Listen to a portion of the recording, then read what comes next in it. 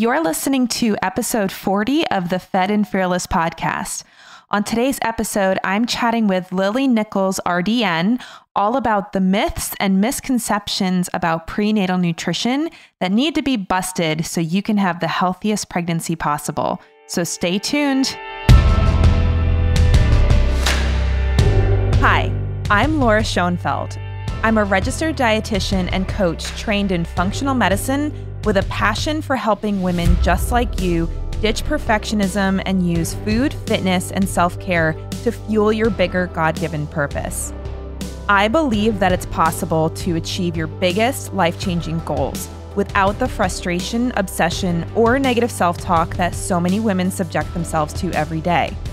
All you need are the right tools, the right mindset, and the faith to turn your dreams into reality. I'm here to guide you along the way.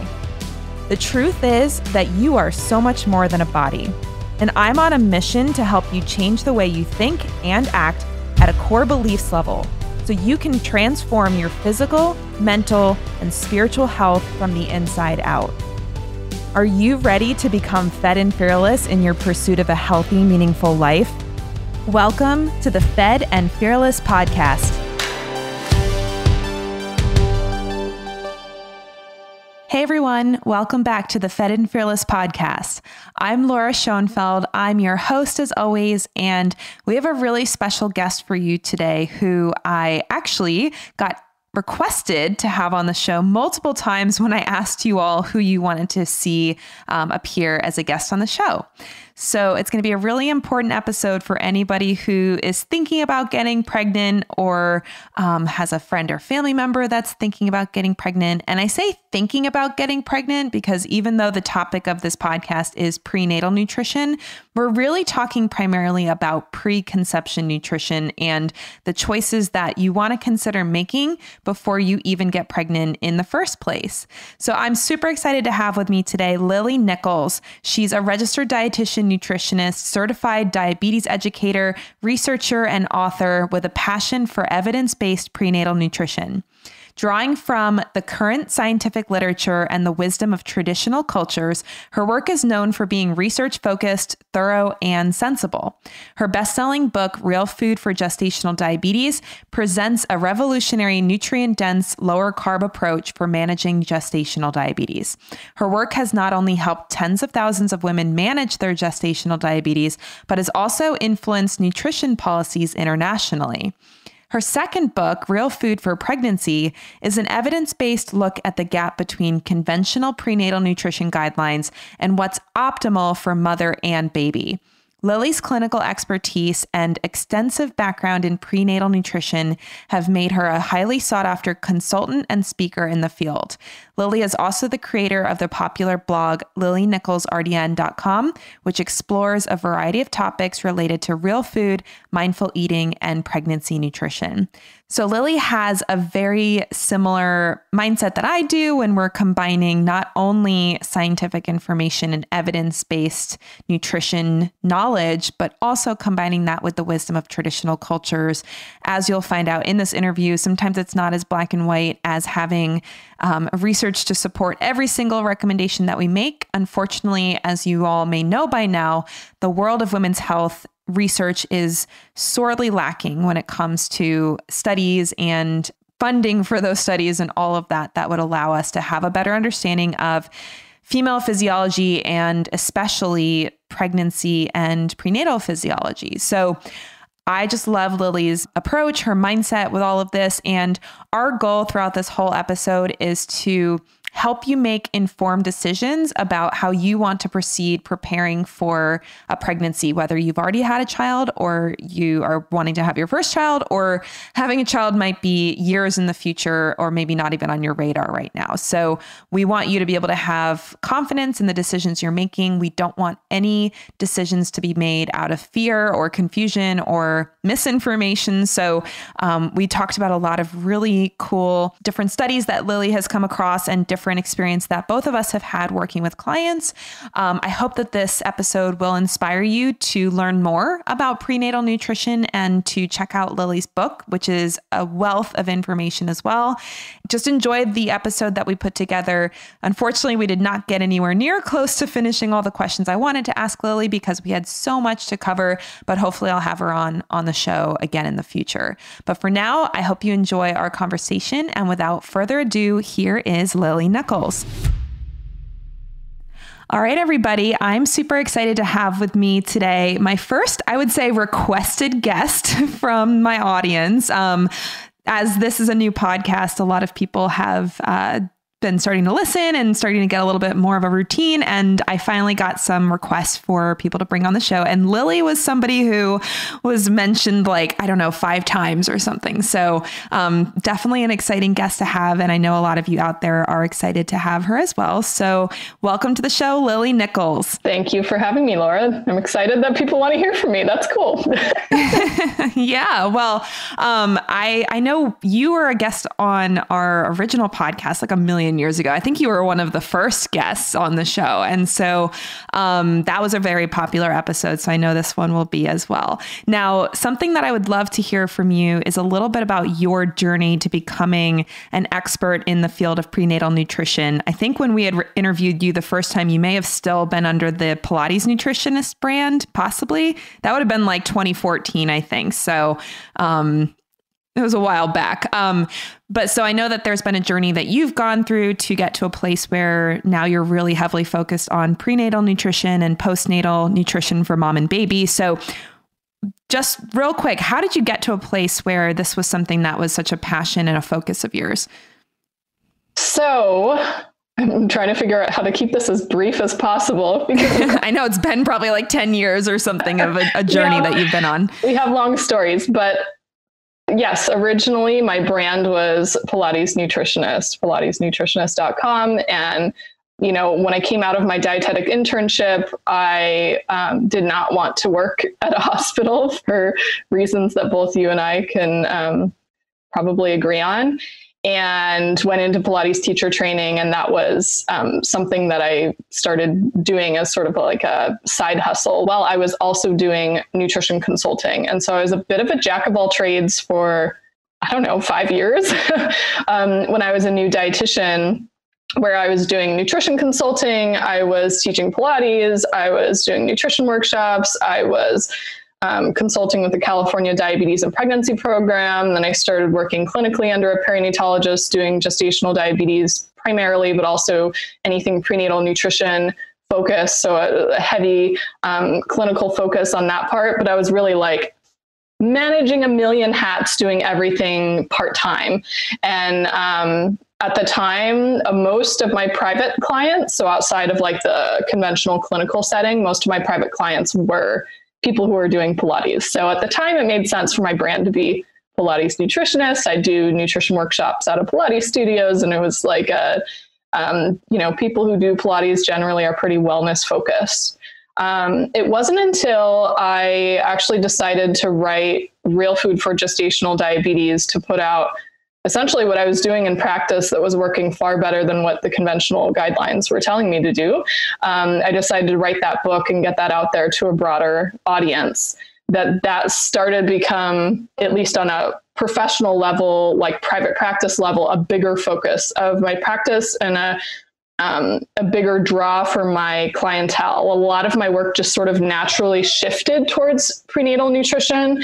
And then, of course, becoming pregnant myself and now having gone through you know two pregnancies and now i have real food for pregnancy my other book it just has sort of naturally sort of taken over my focus um, as a professional so yeah, so I rebranded to lilynicholsrdn.com and sort of dropped my um, my old brand because it just didn't fit anymore. I don't teach Pilates anymore. I focused almost exclusively on prenatal nutrition, and I think because you know I've had experience from so many different angles to answer the second part of your question of like how do you become a specialist i hate the word expert but how do you did you become a specialist in prenatal nutrition and sort of like known for your work in that um, i think part of that is because i've seen the prenatal nutrition field from so many angles. I've seen it from the public policy angle, I've seen it from the clinical angle, the private practice angle, consulting on research projects with evidence based birth and other people. I've seen it from so many angles that I just, it's just sort of where my energy gravitates. And being in the stage of life where I'm childbearing, I currently have, you know, a four year old and a seven month old infant. It also f- sort of fits um, on a personal level as well. Mm-hmm.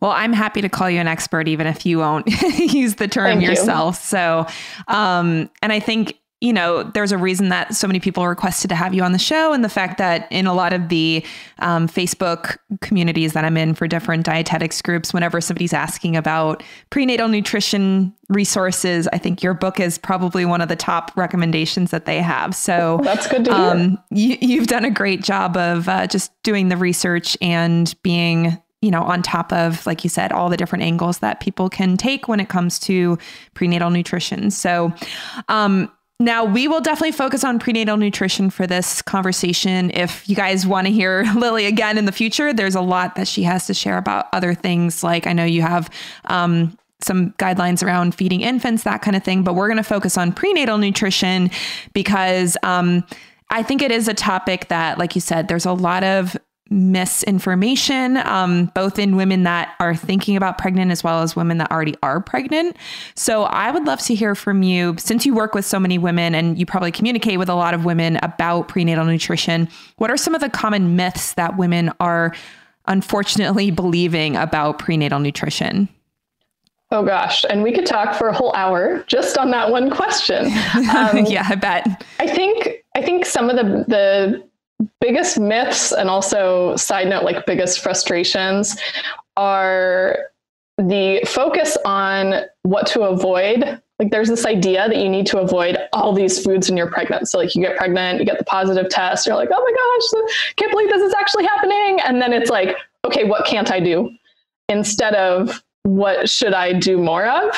Um, so there tends to be a bit of like a, a fear based mentality about eating during pregnancy. Um, hey, fitting for the name of your podcast, right? It's exactly what I wanted to talk about. So yeah, so I, I think most people get pretty overwhelmed by all the things they should avoid eating. And if you look up on the internet which foods to avoid when you're pregnant, you'll get a pretty long list. Some are longer than others and most of them relate to food safety. There's a couple that relate to toxins, like there's some specifics on what fish, types of fish or seafood are safe in pregnancy and which ones might be high mercury, but most of them really are around food safety. And so um, that is one of the, I don't know if I want to call it a myth, but it's, it's something that I want to give people a little more information so they can make, you know, an informed choice I can't guarantee any food is safe or unsafe, but a, a, lot of what I do, there's a whole section in chapter four of Real Food for Pregnancy um, where I go through this sort of weighing the risk benefit equation of different foods. So, how likely are you to get sick from, for example, eggs with runny yolks? And then, if you choose to avoid that food entirely, um, say you're you're a person who only likes eggs with runny yolks, so you won't eat them if they're like quote not safe. Then what are the potential nutritional downsides of not including any eggs in your diet? I think that's a discussion that doesn't happen. I think people are just given this blank can't eat this, can't eat that, can't eat that, bar none, no discussion around it. And I also like to play devil's advocate in that what are the foods that are most likely to actually make you sick? Which ones are linked to the most foodborne illness outbreaks, at least in the United States? And that's actually raw fruits and vegetables. 46% of the foodborne outbreaks in the US are raw fruits and vegetables, but nobody tells you not to eat a salad. Nobody tells you not to eat raw fruit. Um, so it's kind of like, it's just, I think it's, we're sort of left in this frustrating quandary of who do you believe? And again, I can't guarantee that your egg with runny yolks for sure doesn't contain salmonella, but I can tell you the chances it's contaminated is anywhere between 1 in 12,000 to 1 in 30,000. So, and it, they egg egg related foodborne illness outbreaks only account for 2% of those in the whole US. So, you have to just make the choice. Is that a risk that I want to take, or is that not a risk I want to take? And that's, I think, a, probably one of the biggest myths that I am, you know, providing more information around is just food safety as a whole. You let me know if you want me to go into more because there is many, many more I could choose.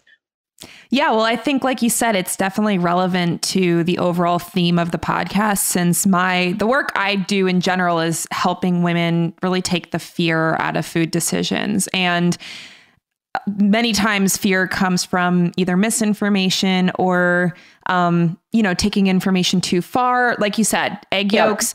If somebody wants to be extra, extra safe, they can cook them thoroughly and, you know, even if you don't like it that way, if you want to be really, really safe, but also, like you said, looking at the different risks and saying, okay, if you're going to eat spinach and strawberry salad, maybe you're okay to have um, well, some runny egg yolks too.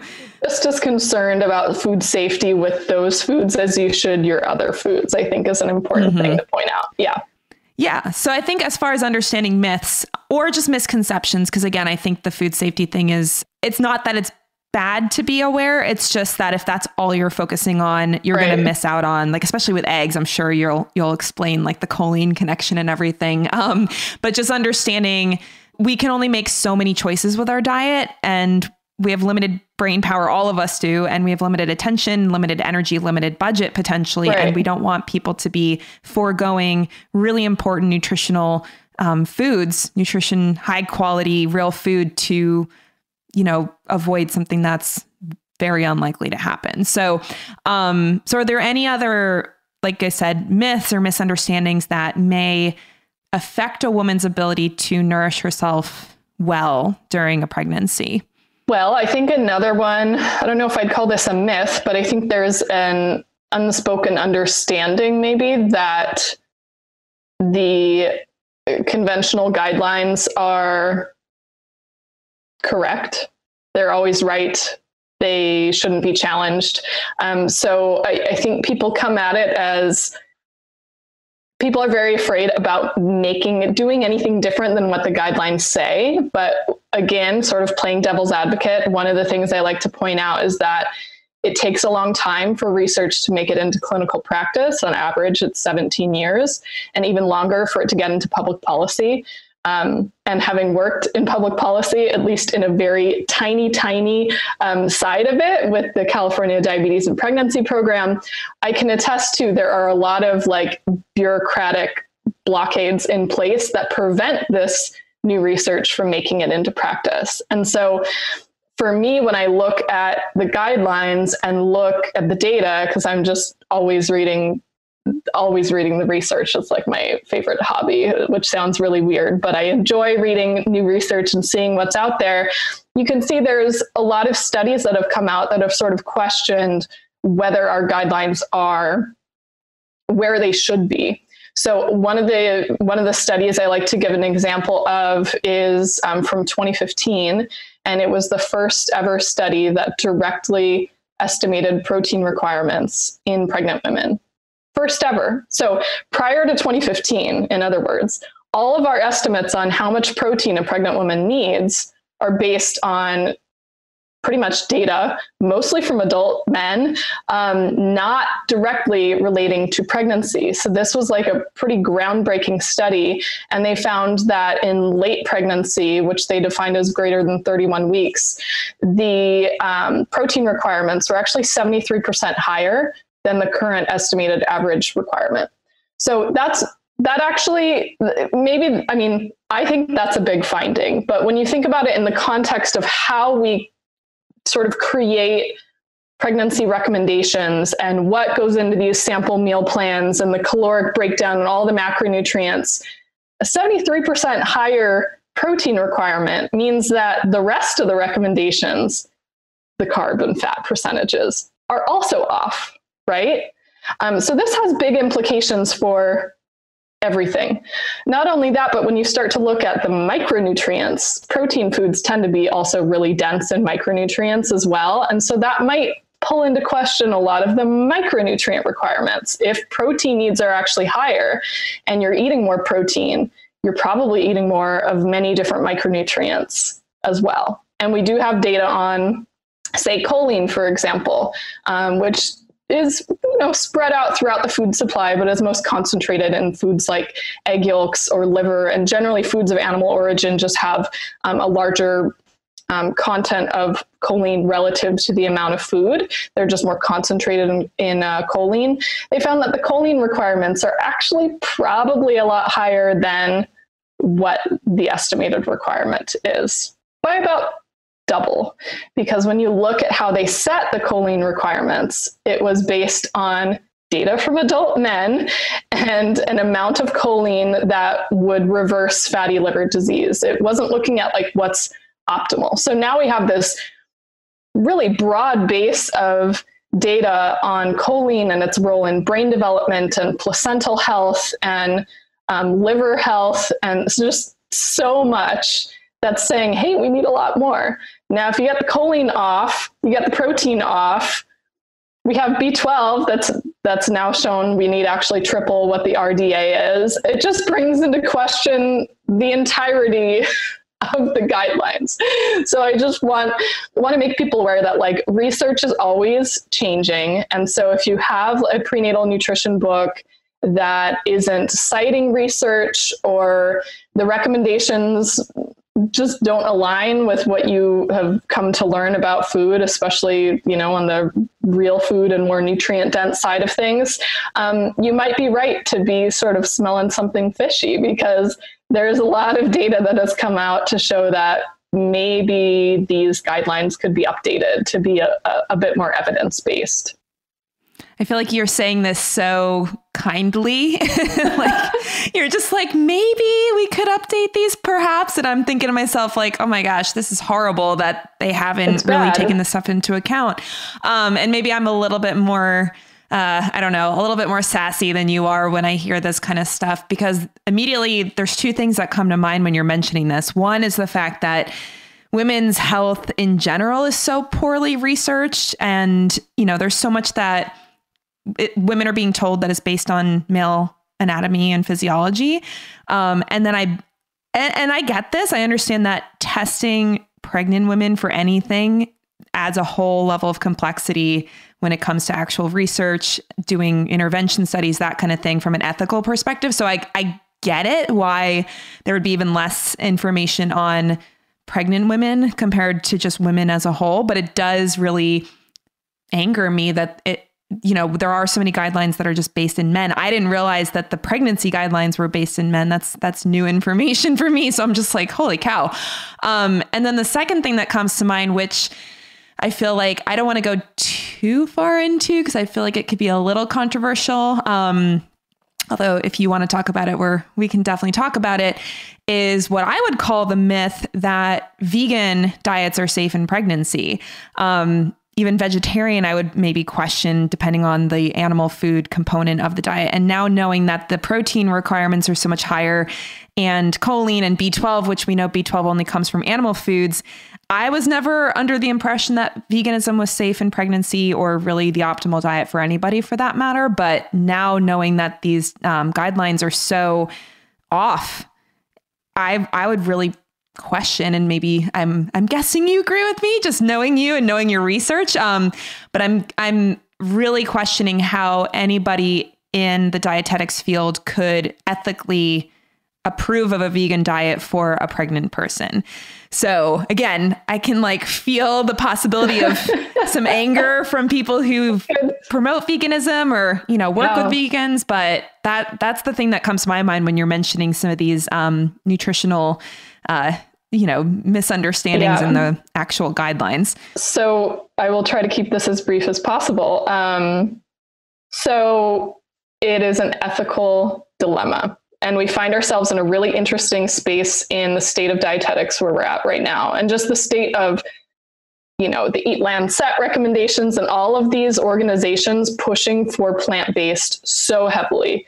Um, and you can take, you know, continuing education uh, webinars for dietitians on plant based pregnancy. And here's the thing my approach to prenatal nutrition is about reverse engineering like from what we know, from like the good data of what we know, I reverse engineer from a micronutrient, from the micronutrient level.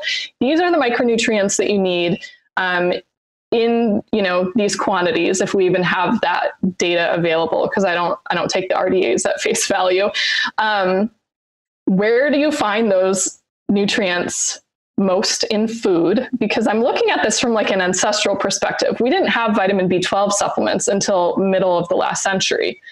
You know even even when people were anemic back in the early 1900s they, they couldn't give them B12 supplements because they didn't have them available. Um, they just started to have iron supplements available. They gave them liver. so I just want to point this out that it's like we're in a very new space in the span of less than 100 years where we've even isolated and named nutrients and been able to synthesize them or put them in supplements and sell them en masse. So we're in a we're just in new territory.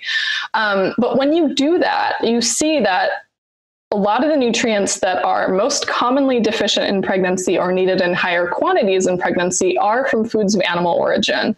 Um, now, I do have like a really, I have a blog post on my site on vegetarian diet and pregnancy, nutrients of concern. I could have named that blog post um, with like a very clickbait title, and I chose not to because I try to come at this angle from like a data first, not um, emotional level because otherwise people don't actually absorb the information they're giving you. It feels like a personal attack on their dietary choices.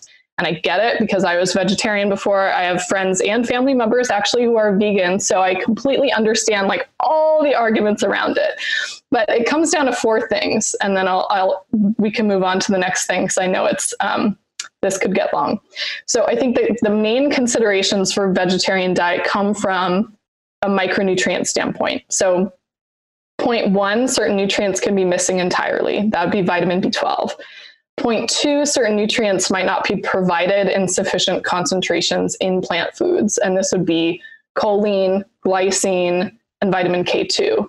You'll note that both glycine and vitamin K2 aren't even mentioned in conventional nutrition guidelines on prenatal nutrition whatsoever. So also going to point well, I don't out. even I, I don't know about you. I we never talked about vitamin K2 in my graduate oh, program never. and that was only 5 years ago or something I tried so. to do I tried to do a research project. I was taking a graduate level vitamins class during my undergrad. It was a vitamins metabolism class that I talked my way into.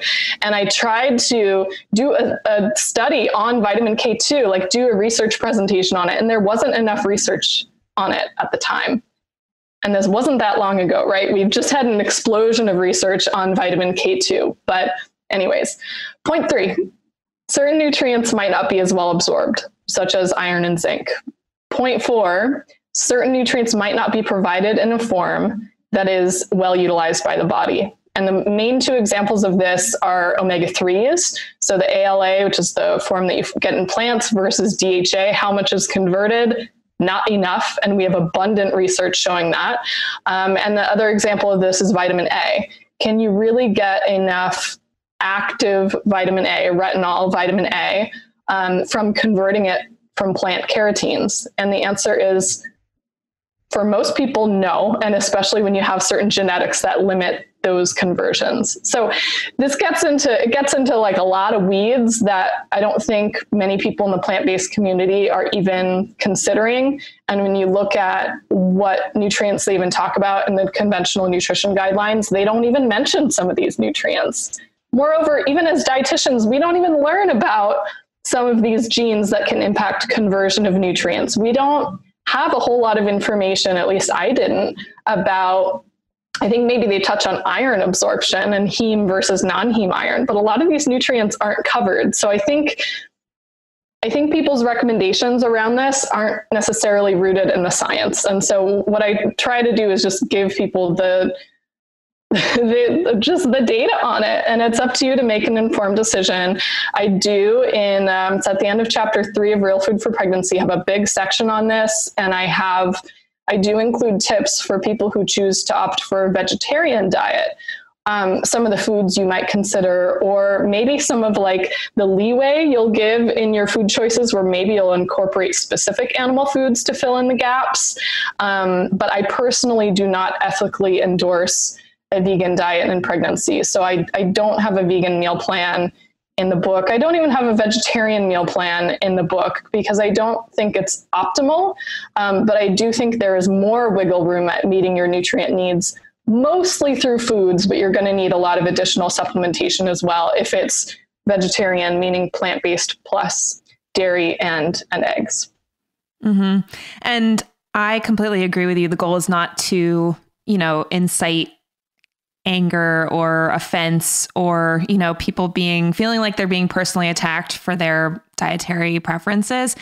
But at the end of the day we we can't remove ourselves from the laws of nature right? Like just because you want to be a vegan does not mean that your body somehow is going to magically not need these nutrients anymore. And like you said a lot of well-meaning dietitians and other healthcare professionals that are promoting plant-based diets for pregnancy, they it's very possible that they just may have unupdated information that they learned. Maybe they were in school 10 years ago. Maybe, you know, their school was somewhat behind. I mean, I went to one of the best nutrition schools in the country for my graduate program, and there was still gaps, right? Like I was aware of gaps that were missing when when I was learning, even though so much of it was really, you know, very evidence-based. So I don't think, you know, I try to take the perspective that I don't believe anybody is purposefully trying to harm anybody or you know, it's not like a political agenda or something like that. I really do believe it really comes down to just a lack of information. And, um, you know, what you were saying about certain nutrients not even being in plant foods, all the way up to things like vitamin A, where, yeah, maybe some of the population can convert enough and maybe they'll be okay not getting preformed vitamin A from food. But if you are someone who is thinking about getting pregnant you know, planning on getting pregnant, friends and family planning on getting pregnant, I would want to know that, hey, there might be a risk that you cannot convert enough of this, you know, plant form of this nutrient into what your body actually needs to do all the processes that not only it needs for itself, but for growing another human. I would want to know. And then if they choose to move forward with a plant based diet, that's up to them. Um, you know, I'm not going to take the position that that's like child abuse or something like that, which I know some, I've seen some arguments that, you know, it goes beyond like, hey, it's your choice. It's really they're they're arguing that no, that should not be, you know, permitted. So I don't think we're saying anything like that. I just want it to be a situation where people are informed. And again, it's not a fear-based, um, informative uh, conversation. It's more just these are the facts. There's research to support this. If you want to check out Lily's book, I know she has I'm not gonna like this is an over exaggeration saying a million references, but there are a lot of references yeah. in the book that Over you can go look at yourself. Not a million. 900's a lot. That's a lot. So um, just being able to see this from a purely objective perspective and not bringing emotions or, you know, like environmental beliefs or whatever kind of things that guide people's food decisions. Just looking at it as purely what does the data say and going from there. So I really appreciate your your level-headed approach and this can be pretty controversial because there are even in our profession people that I'm sure would be very staunchly in disagreement with what we're talking about, but Oh, yes. I have been the subject of um, hateful posts from plant based dietitians who promote a plant based uh, pregnancy. But um, all I can say is I just have to let the data speak for itself. And it's an informed consent decision. If you still want to go forward with a plant based pregnancy, you have the information to do that and you have you know the information on specific nutrients that might be lacking some supplementation um, ideas because a lot of them just talk about iron and b12 and leave it at that and you got to be talking about choline you got to be talking about glycine you have to be talking about some of these nutrients that don't that aren't in the limelight as much yet at least outside of like the functional medicine real food space where people have been talking about this a little more.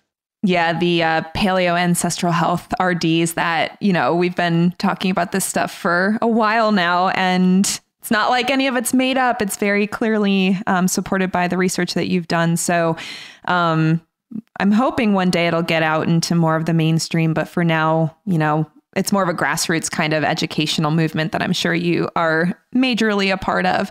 Um, so I feel like, and and that could be maybe one of the big myths that we kind of like claim for this this section is really just saying that plant based you know, the idea that plant based is safe and effective for a healthy pregnancy is definitely questionable and possibly false. So, you know, again, we want people to be informed and feel open to do their own research. Look at the re- the references that Lily shares. Go look at the science yourself if you can understand it, um, and then you get to make a decision on how you want to move forward. So, um, so and I would love to just kind of switch gears a little bit because um, I feel like this is another, this is kind of a myth.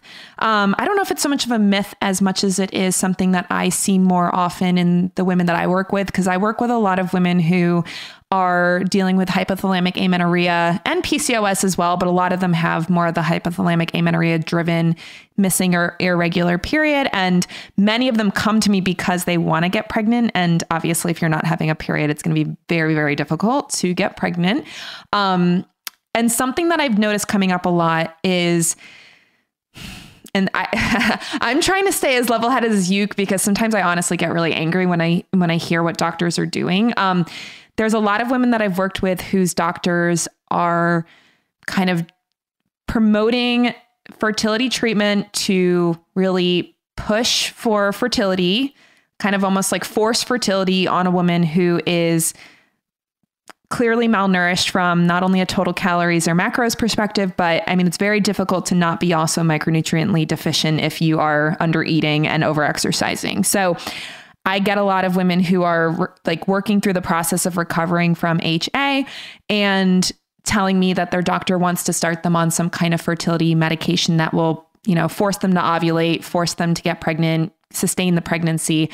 Um, so, you know, that's obviously a much more serious issue, but I think it kind of points to a bigger issue in our culture that prenatal nutrition does not include the time frame before you get pregnant.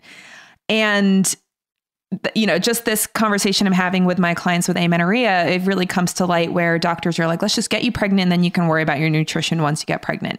So I think that's incredibly irresponsible and really dangerous to have that kind of approach to helping somebody get pregnant. And whether or not somebody's dealing with amenorrhea, I believe that if you ever want to get pregnant, if that's something that's on your radar for your future, that you need to be looking before, you know, day one of conception when it comes to your nutrition. So, how much time does somebody really need to be spending focusing on their nutritional I mean, not that it would ever be a bad thing to start, you know, 10 years ahead of time, but if somebody's thinking about getting pregnant, maybe they're just getting exposed to some of this information that we're talking about, they want to go get your book and they read it. How much time do you recommend giving a woman focusing on this nutritional, like increasing certain nutrients, getting her diet into a really healthy state before she should really start trying to actually conceive? Yeah. Well, we are in agreement um, as a whole because I do think the focus does need to be more heavily on preconception nutrition. And I'll, I will say, even at a public health, public policy level, I mean, I've been attending conferences for like over 10 years where they're talking about preconception and what's called interconception care between pregnancies. Like, how do we reach women before they're actually pregnant, before they actually come in with the, yes, I had peed on a stick and it came out positive, and here I am at 8, 9, 10, 12, 13, whatever weeks pregnant.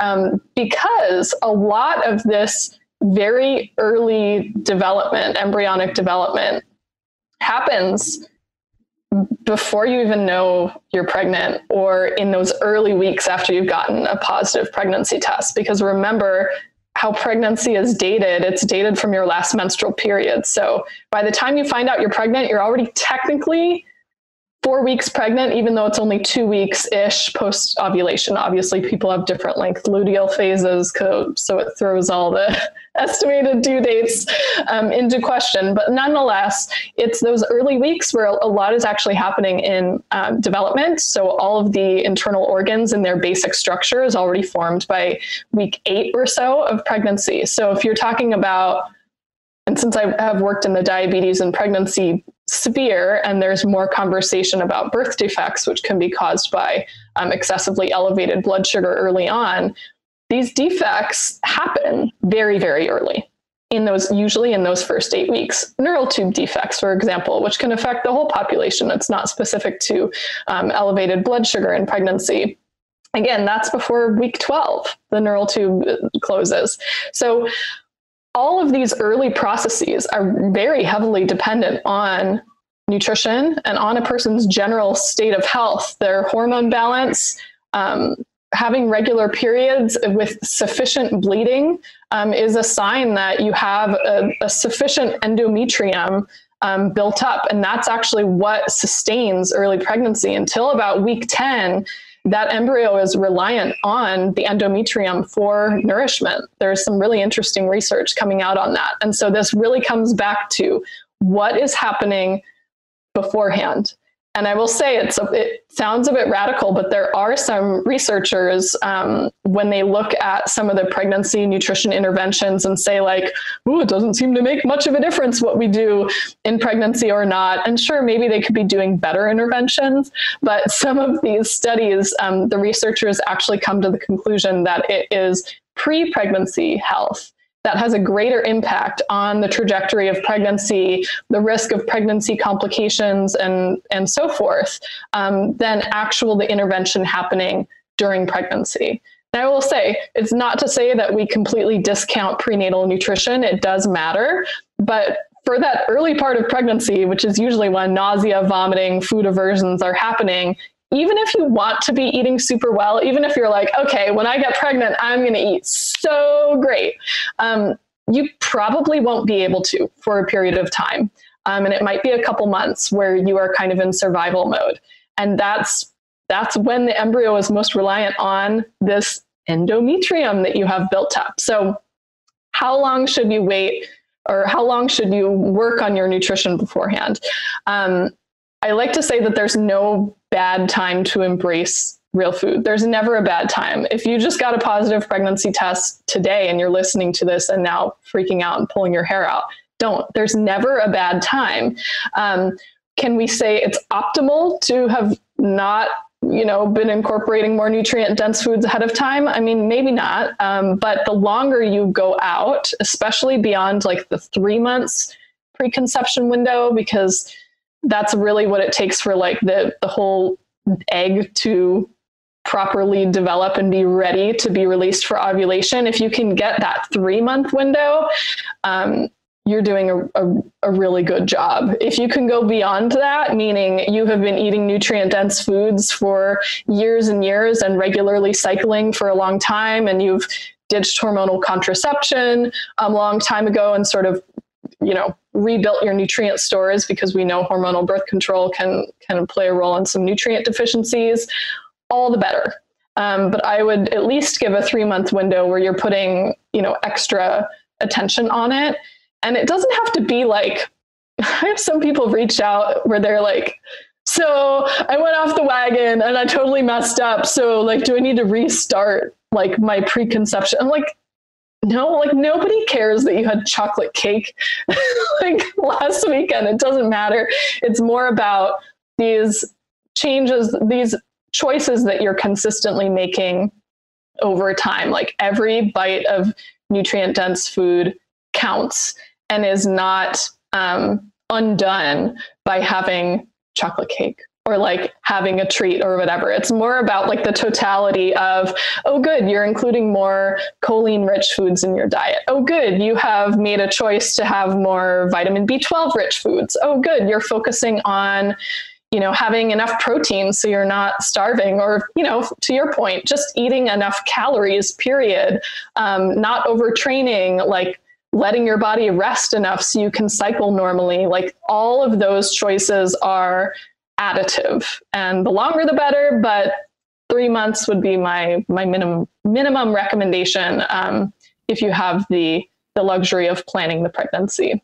Right. And I think it comes back to that idea of it's less about avoidance as it is about adding things that inclusion. are Yeah. 100%. And and I feel like cuz like you said chocolate cake probably not the most nutrient dense food for most people depending on how you're making it and it's you know as long as you're not having chocolate cake in lieu of you know animal proteins, organ meats, you know that kind of thing, you really should be okay versus um, you know having that mindset of what do i need to avoid? What do i need to take out? Oh my gosh i can't have sugar because sugar's so bad for you. It's like if you have a little sugar on top of a really high quality diet, that's really not that big of a deal. So, um, and for most people, totally fine. So, um, I'm glad that you mentioned it because, again, the idea is don't worry so much about trying to restrict or avoid. Think more about what can I add, what can I emphasize to really get that nutrient dense diet. And then anything else I eat on top of it, it's kind of like, all right,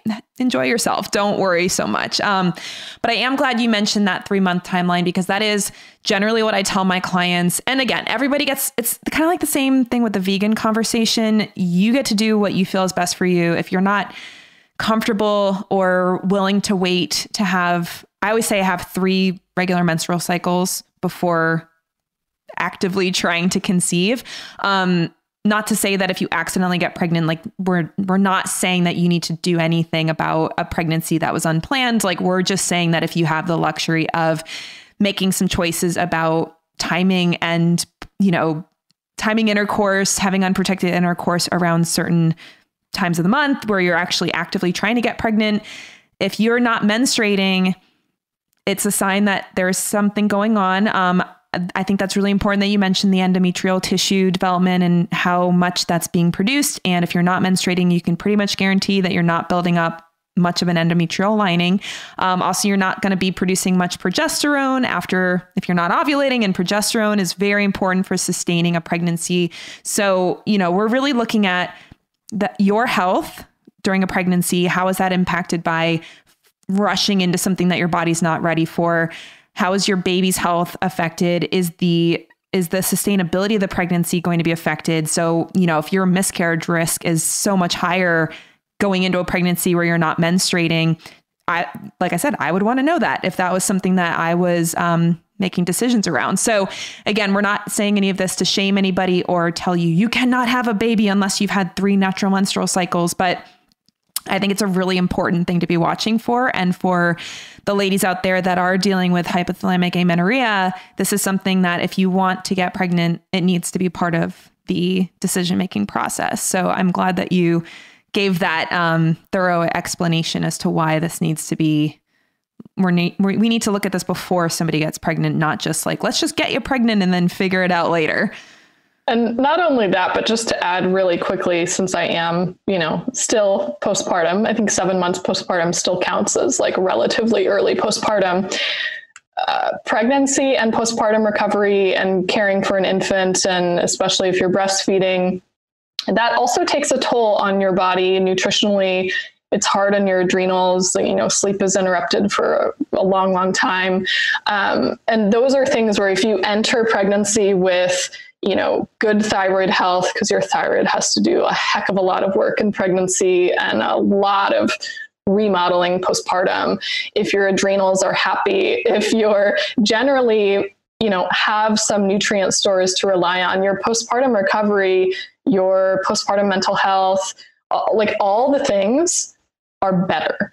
so it's not just the short term of the pregnancy. I think people need to be thinking um, long term as well and and definitely postpartum recovery is like a really um, under discussed um, area and i think it it all comes back to before the pregnancy which yeah. sounds crazy but like really it all comes back to like a long time ago mm-hmm. um, so th- it is helpful to keep that in mind as well is that so is that um is there research to support that, or do you feel like that's more of an anecdotal um, just thing that you see in a lot of the people you work with?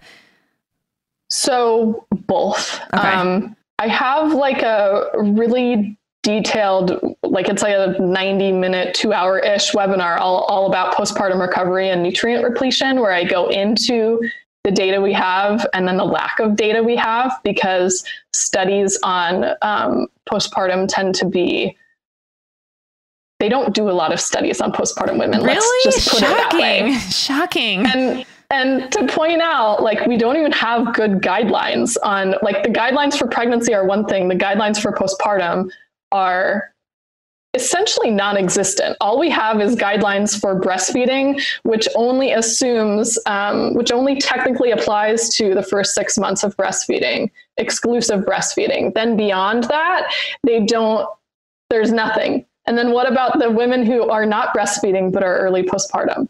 There's like nothing. The only difference they have is the iron recommendations.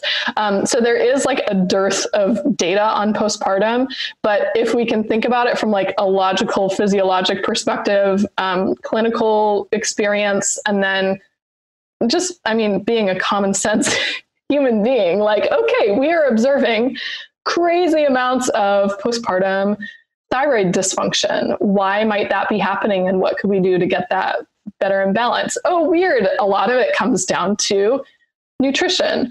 Hmm, why are we seeing so much postpartum anemia going on? Oh, wait, that relates to the thyroid. Oh, wait, that relates to that. I mean, I, what are we seeing in the nutrient levels in breast milk? Oh, hmm, 60% of women are low in vitamin A in their breast milk, even in like well nourished quote well nourished um, you know developed countries where they have plenty of access to vitamin a rich foods. Hmm, what's going on here? I mean you can kind of take the aggr- aggregate of all of the, that data and all of these observations and come to the conclusion that we need to be doing more for postpartum health.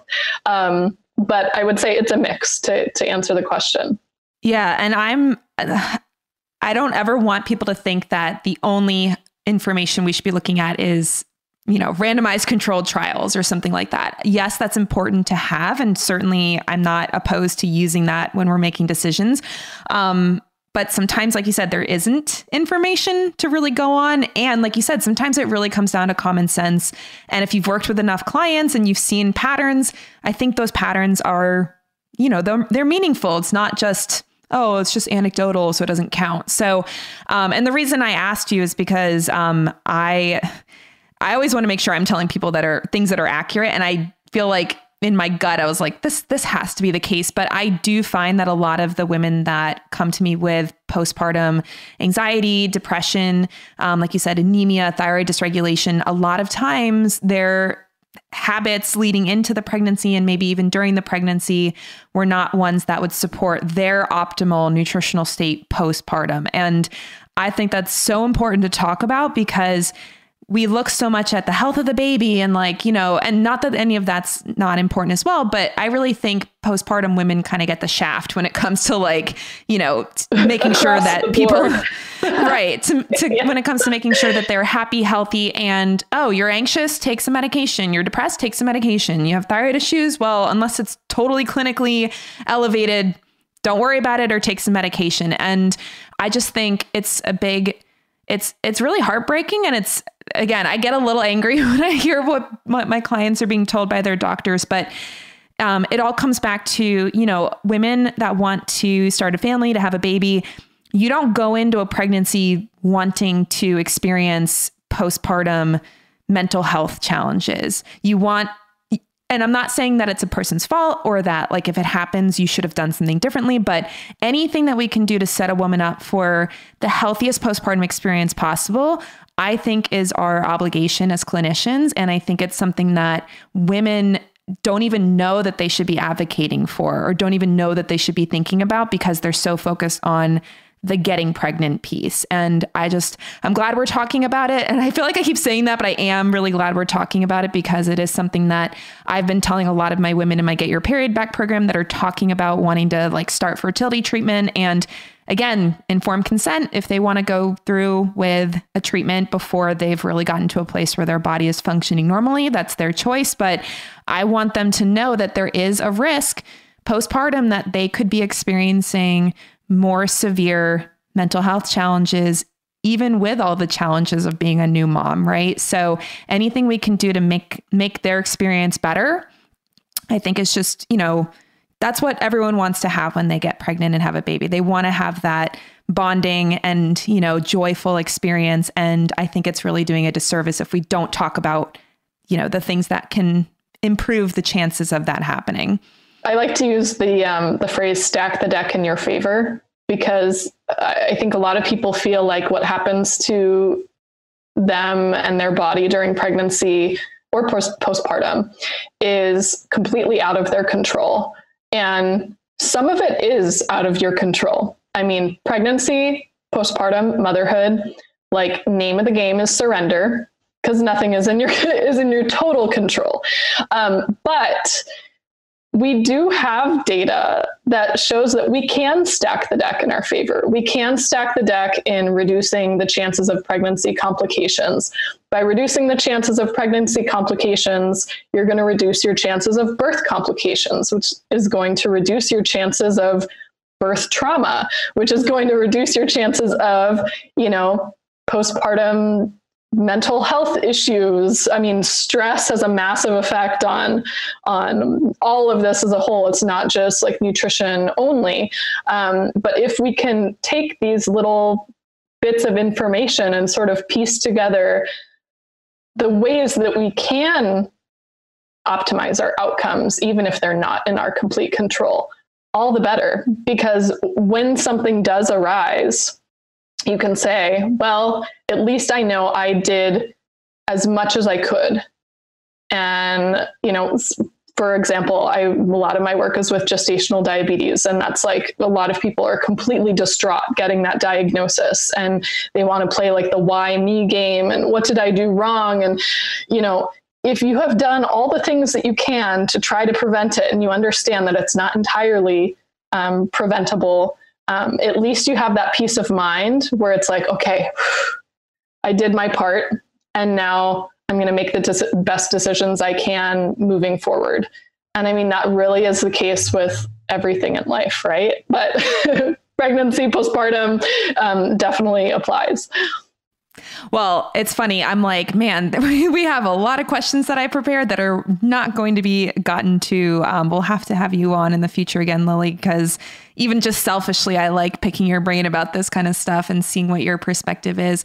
Um, I think one of the last questions I wanted to ask you, since, like I said, I think we've gotten through like three questions and I had 10 prepared. I knew going in, I was like, there's no way, there's no way we're going to cover all of these. Um, what I want to kind of end our conversation with is um, some practical steps and some hope for people because I think a lot of what we focused on is stuff that can go wrong or stuff that isn't really getting the attention it deserves in the research or you know misconceptions that are unfortunately being shared even by um, prenatal physicians all of that said i know you have two beautiful, amazing books that people can check out. Um, and I certainly will link to them in the notes. And I strongly encourage people to get those books. If somebody wants to just have a foundational, what are some main things to focus on, both before getting pregnant and then during pregnancy, especially for women that maybe don't have um, a huge budget to be spending on grass fed everything and organic everything? Where would you say women would get the biggest bang for their buck focusing on when it comes to food choices um, pre and, and well preconception and then prenatal so what i would say is again coming at it from like the pushing micronutrients first i would come at it from what are the most nutrient dense foods that give you like the biggest nutritional bang for your buck. And, you know, we can have full conversations about food quality. We can also have full conversations about just the whole food itself, regardless of how it was produced, is like still going to be nutrient dense. So, taking it from that angle, I would prioritize eggs, they tend to be relatively inexpensive, or they can be. Um, sometimes, depending on where you live in the country, you might find somebody who has backyard chickens who sells you a dozen for like three bucks. Like, great. They're like, you know, really fantastic. But even generic supermarket eggs are still really nutrient dense. It's going to be like your your biggest source of choline um, in your diet by far. I would prioritize i'm going to like start with the animal foods because they they really are like the ones that have most of the micronutrients that you need to be thinking about for fertility um, and then on the macronutrient side tend to be you know great sources of blood sugar balancing fat and protein. So whether you're coming at it at the angle from PCOS with some possible insulin resistance going on, or coming at it from the HA undernourished standpoint and just maintaining like level happy blood sugar levels um, throughout the day, those things are still important. So, aside from eggs, I would say um, you can shop the sales section at your grocery store, see what meat is on sale for the week. Sometimes they put like the grass fed meat on sale, so check that out too.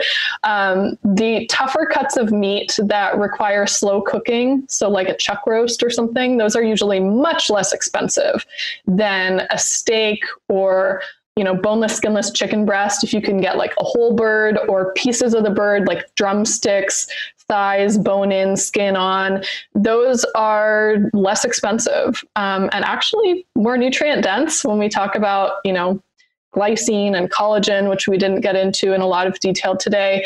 Um, those are your best sources. And after you've cooked your chicken or chicken parts, you save the bones, save any of like the knuckle parts, tough parts, um, the skin if you don't want to eat it, and throw that all in the stock pot and make bone broth. And that's essentially free. Um, I'm like very, very, very frugal when it comes to um, food. So I, I, although I do, um, I'm lucky to have the privilege to be able to buy you know more like the you know the grass fed and whatever cuts when i can. I'm also like use all the parts own my grandma skills kind of a person. So i would never not to say that this is a bad thing but i don't personally purchase bone broth at like $10 for a tiny like a pint. Like what the heck? You can make a whole quart for free from like just buying bone in meat and then saving the bones in a bag in your freezer. When you fill a gallon bag with bones, you throw it in your slow cooker, your your stock pot, your instant pot, whatever, and make broth, and it's free food. Um, I would also say foods like canned fish, so like canned sardines, um, canned oysters, canned clams, incredibly nutrient dense. You got your omega 3s, your B12, your iron, your zinc, your selenium, your iodine. There's so much good stuff. And that's a really inexpensive way to incorporate it into your diet. So you don't have to do the, you know, wild Alaskan salmon fillet that's like 20, 30 bucks. You can get like a $2 can of sardines or like a $1 can of oysters even if it's packed in not the best oil, like I don't care. I think the nutritional benefits, the micronutrient content in it um, outweighs any of the not perfect oil that it's packed in. And then other other things I think that can be really helpful for shopping on a budget would be seeing what's available in your local food space. Um, and again, this could be challenging if you, you know you're in a position where you're working really long hours and don't necessarily have access or transport to get to a farmer's market or whatever. But if you live near farms a lot of times you can get produce for much less expensive um, when it's in season. So I'm, I'm a big fan of shopping in season and locally. It doesn't have to be transported um, super far. It doesn't have to be organic. It's still in my opinion better if it's you know fresher from the earth than is organic and has been sitting on the shelf for three weeks you know? Um, so whatever you can make happen in your local food space it, at least explore that option and see if in your area it is less expensive. It definitely varies place to place but if you're in an agrarian area then take advantage of that as well Mm-hmm. And I think one of the things I know you were mentioning before um, that is also usually very inexpensive is organ meat. Not the most delicious necessarily, but um, certainly when we're talking about cheap cuts. have you had heart before? Yes. And it's uh, it's not bad. I felt like I haven't had it in a really long How time. Did you have it prepared? I probably overcooked it. I feel like that's the death of all organ meats is being overcooked. So yeah, so organ meats like fantastic, like very very micronutrient dense, and I think a lot of people focus mostly on liver. And I know you're not a super fan of liver. I mean, I'm not a fan of eating straight up liver. I like make pate and hide it in ground meat recipes. So there's several re- recipes on my website. There's more in Real Food for Pregnancy where you hide liver in other ground meat dishes, so it's less livery because you know it has a very has a very iron sort of metallic um, flavor that people don't like. Um, but heart is like that. I feel like it's a good gateway meat, organ meat for people because it doesn't have like the strong flavor that liver has, at least not to the same degree. I mean, it's very high iron, so you do have a bit of an iron flavor. But um, I have a recipe on my website for um, Thai chili beef heart skewers, and it's kind of the way that they make um, beef heart, um, from what I hear in Argentina. Where it's like cut thin, marinated, and then cooked over a fire. And I don't know, maybe it's something about the little char you get on the edge. But if you get like a solid, nice marinade with it, it's delicious, like surprisingly delicious. So, you know, if liver's scary, look at getting heart and it's amazing. You can get organ meats for, I mean, dirt cheap. So cheap. I mean, now they're getting a little more expensive because it's like becoming in in vogue to organ meats. yeah, it's kind of like buying beef Um, bones. It's like it used to be like you could get them almost given to you like, oh, they're just dog bones, but now they're sold for like seven dollars a pound or something at Whole foods I know, So it's ridiculous. It's ridiculous. Yeah, and uh, the only reason why I brought that up is because it's something that you know, it's I, I'm not a huge organ meat fan from a flavor perspective. I've had it before where it tastes good. My mom actually just made a meatloaf that had liver in it a few days ago, and other than the texture being a little mush- mushier than I usually like for a meatloaf, it was actually pretty good. And so I think being willing to experiment and test things out because it's like yeah you could maybe do like liver capsules if you really really hate the taste but that's so much more expensive way expensive. Yeah. Personally, I would never buy liver cap. I know, like, again, like I don't want to make people feel bad about their choices because some people, that is, they're not going to eat organ meats, and that is, you know, the only option. So I, I think they are an option.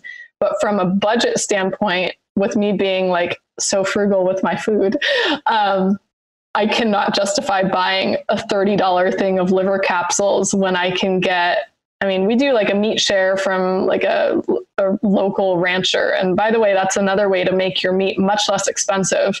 For us, it works out to about $5 a pound. And yeah, it's not all steaks, but that's how you can get some of these fancier cuts for essentially very inexpensive. And they also just give you the bones and give you the organs. Um, so that's, you know, a cool option. You do need like a big, you know, freezer space for it. But if you can if you can absorb that one time big cost, um, that is one way to get quality meat for less expensive.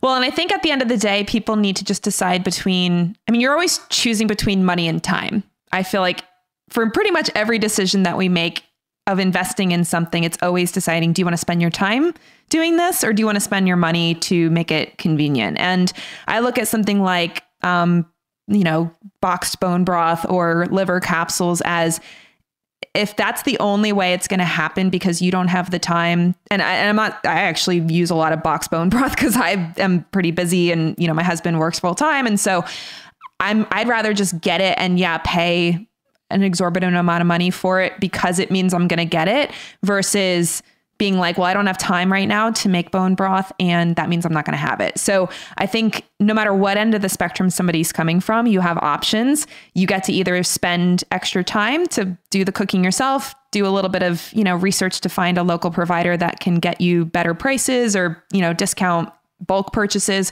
Or, you know, if you're somebody who works 70 hours a week, 80 hours a week, and lives in a studio apartment in New York City, maybe doing box bone broth and liver pills is actually going to be the right choice for you. So, um, obviously, the question was how to do it more frugally and how to like get the best bang for your buck nutritionally. And either way, organ meats are still going to be cheaper than a filet mignon or something that doesn't even have the same nutritional quality. So, at the end at the end of the day, we just want you to do what's best for you, do what's best for your body, um, have the information to make those choices, and then you know if you if you want the convenience of ordering something, I mean, even there's certain companies like I think U.S. Wellness Meats sells.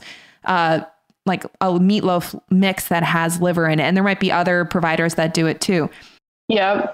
And they have like liverwurst and some other like sort of sausagey things that you can slice and eat that have liver or organ meats mixed into them as well. Um, I haven't ordered from them before, but I hear them mentioned quite a bit. So yeah. Yeah, I've I've done their liverwurst before. It's it's good. It's I have a really hard time using it all when I order it because I always like Oh. order it in bulk. So I'm like, well, if I'm gonna order it, I might as well get a bunch, and then it sits in my freezer for way too long. So I'm like the worst at making sure that gets eaten. But um, but everybody, I, I think the whole point is to say that everybody has options, whether you are you know, on food stamps and you're using those food stamps to get liver from the grocery store, or if you're somebody who, again, lives in a studio apartment, doesn't even have time to cook, and you're taking liver pills to get those nutrients in. So there's no wrong way to do it. And I think just knowing knowing how to do it in a variety of ways is going to be really beneficial. Now, I want to respect your time because I know that you're a busy person and you got some kids that are, I'm sure, wanting your attention. So, um, I will have to have you on again because again, we got to about 30% of what I had questions for you about and you have such a depth of knowledge and it's just really fun to get to chat with you about these things. The question I ask every person that comes on the show, um, I, I like to throw a little curveball if you're not a regular listener is um, what do you believe makes a person more than a body? Ooh. Oh boy, this is quite the curveball. I thought you were going to ask what I had for breakfast or something. No, I don't. I like to go deep, just cut right deep into it. and the caveat is always that there's no wrong answer. I feel like it's the the heart that you bring to your interactions with people, your family, your work, um, like your why. You can't put that in a box, right? you can't sell that. It's I think it's the heart that you bring to everything you do in your life. I love it. And the reason I asked that question, get the different opinion from everybody on the show, is to just kind of remind everyone that as much as we're talking about, you know, biology and nutrition and physical health and all of that, at the end of the day, your, you know, who you are and your spirit and your relationships with your loved ones is the most important thing and any decision we make around nutrition should always keep that stuff in mind. So um, thanks for playing. Like i said i know it can sometimes throw people off when they're like where did that come from? But um, it's just a little thing i throw in at the end. So all that said again i'm going to post information about your books and your blog. Um, where can people find you on the internet if they want to learn more about all of this really interesting and important guidelines for um, prenatal postnatal postpartum i guess i should say and uh, children's nutrition that you share Yeah, so you can read my blog over on my website, lilynicholsrdn.com. Um, there's, you know, I've been blogging for a long time. It is way less frequent these days um, with kids and all the things, but there's, you know, 250 plus articles up there. Um, so there's a search function. You can search for specific topics if you don't want to go through page by page by page by page what's on there. Uh, there's also the press page lists um, interviews I've been on if you want to listen to other podcasts. As far as, oh, and on my website also for people who want more um, info on real food for pregnancy, there is the first chapter available for free as a download. There's a freebies tab, so it's easy to find. So if you just want to get sort of like more information on like, hmm, the guidelines aren't what they are, what's this real food thing? Like, what should I be thinking about? You can just get a sneak peek of that um, without having to actually like buy the book. Uh, and then social media wise, I'm on all the regular channels, but I'm most active these days on Instagram. So my handle is the same as my website, which is Lily Nichols RDN. Awesome. Well, like I said, I will post all of those in the show notes below this episode on lauraschoenfeldrd.com. Lily, thank you so much for your time and sharing your expertise and um, just giving people a- place to start with their prenatal nutrition and understanding why it's so valuable for them, not only for their own health, but for their baby's health as well. And I just really respect you and your um, commitment to the research and your focus on facts over fear and you know just all the amazing resources that you have to share with the world on a topic that is not anywhere near researched enough so thank you again and um, like i said I'll, I'll definitely be inviting lily back so next time um, I don't. Maybe we'll get to the second half of the prenatal interview, or Yeah, we'll talk about something else. But uh, I really appreciate your time. You bet. I'd be happy to come back and thank you for your time and your work as well. Awesome. Well, and thanks to everybody for hanging out with us over the last hour plus, And I will look forward to seeing you all here next time on the Fed and Fearless podcast. Take care, everybody. Hey there, Laura here again. Thank you so much for listening to the Fed and Fearless podcast. Your time is your most precious resource, and I'm so grateful that you choose to spend some of it with me. Now, if you're enjoying the podcast and want to continue supporting my work on this show, I would very much appreciate it if you would leave a review on iTunes. By leaving a five star review, you'll help others find the show and help me spread my message to a larger audience. You can go to fedandfearless.com forward slash review to find a button that'll take you right to iTunes to leave your review. And I have a special gift for you as a thank you for helping me share the podcast. Once you leave your review, send a screenshot of the review to hello at lauraschoenfeldrd.com. Or you can DM it to me on Instagram at Laura Schoenfeld RD. Once you do, I'll share a free copy of my Overcoming Undereating ebook. Then share a favorite podcast episode in your Instagram stories and tag me at Laura Schoenfeld RD and I'll also give you a free copy of my 14 day calorie challenge recipe guide. Together, these bonuses are worth $44 and will help you become fed and fearless. And you'll get them absolutely free for just helping me grow the podcast. Again, thank you so much for your support, and I'll see you here next week for the latest episode.